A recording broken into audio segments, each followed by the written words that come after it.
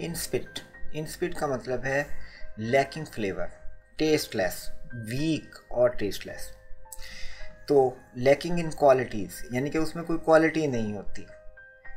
तो that interest तो उसमें इंटरेस्ट भी नहीं होता। तो insipid lacking in qualities that interest और एक्साइट यानी कि उसमें कोई ऐसी चीज़ नहीं होती जो एक्साइटमेंट पैदा करे, क्योंकि उसमें फ्लेवर नहीं होता वीक होती है टेस्टलेस होती है तो उसमें एक्साइटमेंट भी नहीं होती।